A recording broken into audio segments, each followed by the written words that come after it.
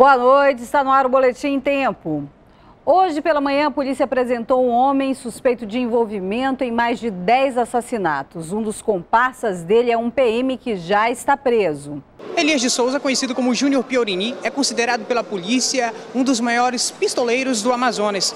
Ele está envolvido no quádruplo homicídio que aconteceu no dia 27 de fevereiro de 2015 na comunidade Novo Milênio. Na época, a polícia descobriu que as quatro pessoas mortas tinham envolvimento com o crime. De lá para cá, dois suspeitos haviam sido presos.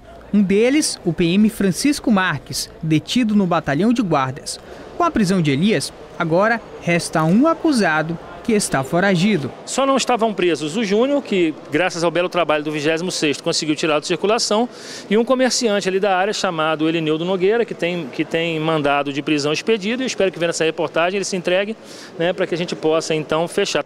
Para o delegado, Elias pode ter envolvimento com outros homicídios. Mas a gente estuda a participação do Júnior, né, do Elias Júnior, em outros seis ou sete homicídios que aconteceram ali na, entre, entre os bairros Santa Teuvina, Monte das Oliveiras, aquela área é, do norte, é, da, da zona norte de Manaus. Segundo as investigações, ele recebia quantias em dinheiro de até 10 mil reais. Os crimes eram praticados em carros que ele conseguia pela internet, da seguinte forma. Elias se oferecia para intermediar a venda do carro. Muitas vezes ficava com o veículo e aproveitava para cometer os assassinatos. Quando conseguia vender, não repassava o valor ao proprietário. Pelo menos sete pessoas foram enganadas. Elias foi levado ao presídio na BR 174.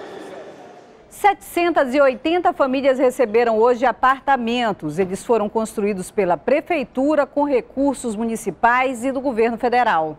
O residencial fica no Santa Etelvina, zona norte da capital. 784 apartamentos prontos para receber as famílias beneficiadas. Todas de baixa renda, segundo a prefeitura, e com salários de até R$ 1.600 por mês. A maioria vem de áreas de risco da capital. Eu moro alugado no, lá no Grande Vitória. É muito difícil dar 300 reais, 400 reais todos os meses, né? Para mim tá difícil. A entrega dos apartamentos foi feita pelo prefeito, que convidou autoridades locais, o senador Eduardo Braga e o ministro das cidades, Bruno Araújo. Nós entregamos aqui não um projeto de habitação, mas um belo projeto social. Mil novas unidades devem ser entregues ano que vem. Nós já vamos começar o Manauara 2 para mil unidades.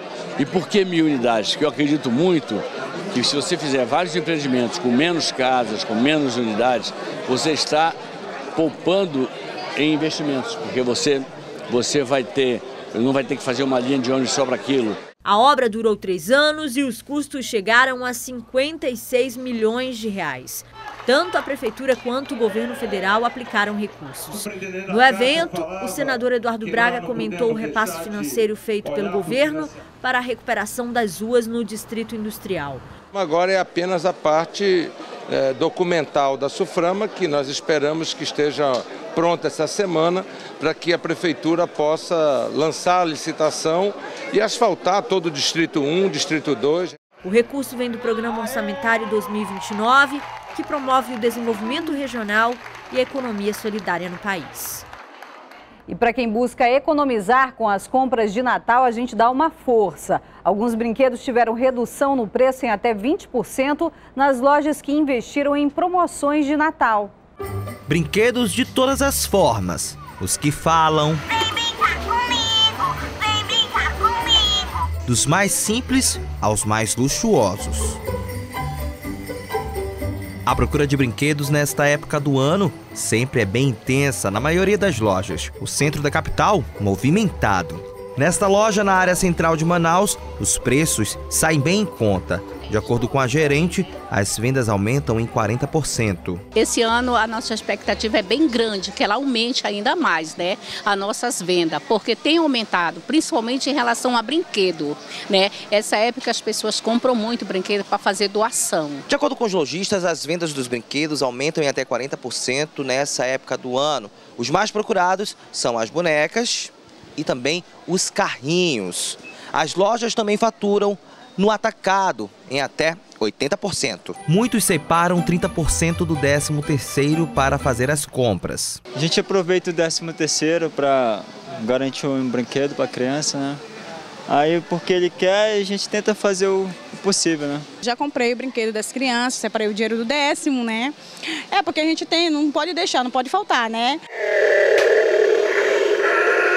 Nesta loja na zona centro-sul da capital, a procura caiu em 10%. Este brinquedo, por exemplo, estava no valor de 449 reais e caiu para 134 reais. A maioria do valor dos produtos desta loja caiu em 20%. Esse ano, é, como também ano passado já começou, a procura por brinquedos mais acessíveis, que a média de preço seja um pouquinho mais baixa. Brinquedos que possam impressionar a criança, geralmente os de montar, os meninos preferem.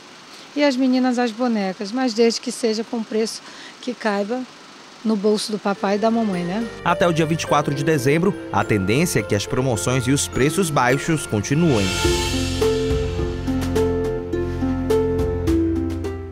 Ontem foi dia do Papai Noel fazer a alegria das crianças no bairro de Santa Luzia, na zona sul de Manaus. Teve presentes e muita diversão. Nas brincadeiras era possível ver a animação dos pequenos. O fim de semana no bairro Santa Luzia, zona sul de Manaus, foi de muita festa. Brinquedos, lanches e muita música fizeram a alegria de mais de 400 crianças.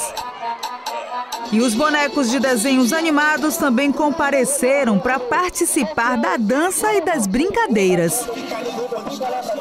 A festa é feita pelo capitão do Fast Club, o jogador Roberto Dinamite. Ele passou nove anos na Europa, jogou na Croácia e na Alemanha e há quatro anos faz a alegria de meninos e meninas na Zona Sul de Manaus. É como eu sempre falo, o desejo e o sonho era meu, mas a realização é para eles, né? Que cada criança possa sair daqui com um sorriso no rosto, com um brinquedo, né? Com lanche, com pula-pula, com tudo que a gente está proporcionando para eles, enfim. O sorriso deles é a nossa felicidade. Algumas crianças que participaram da festa fazem parte de um projeto social do jogador.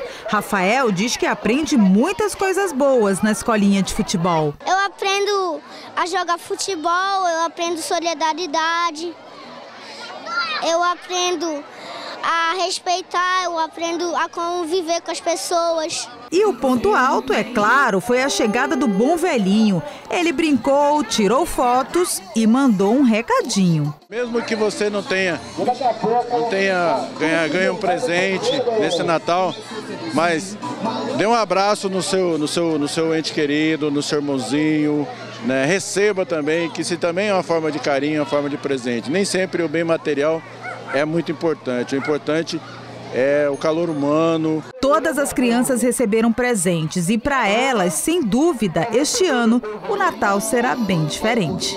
Aí eles distribuíram bilhetinho para a gente brincar e se divertir. Gostei do meu presente, eu vou vir várias vezes se eles fizerem a festa.